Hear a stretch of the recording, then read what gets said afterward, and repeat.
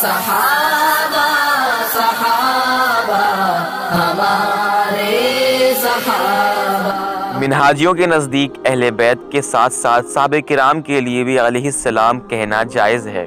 وہ پوچھنا یہ تھا کہ جب صحابہ کرام کے لیے ایسا کہنا جائز ہے تو اس پر عمل کیوں نہیں کیا جاتا؟ منہاجی حضرات و ہم نوا اہل بیت اتحار کے لیے ہی علیہ السلام لکھنے اور لکھوانے پر بزد کیوں؟ اور اگر علیہ السلام لکھنا بھی معیار محبت ہے تو کبھی زندگی میں حضرت ابو بکر صدیق علیہ السلام، عمر فاروق علیہ السلام، عثمان غنی علیہ السلام، ابو حریرہ علیہ السلام مغیرہ بن شعبہ علیہ السلام اور امیر معاویہ علیہ السلام وغیرہ بھی لکھ کر اس جائز حکم پر عمل کر لو، تاکہ پتہ چل سکے کہ واقعی تم صحابہ کرام سے محبت کرتے ہو۔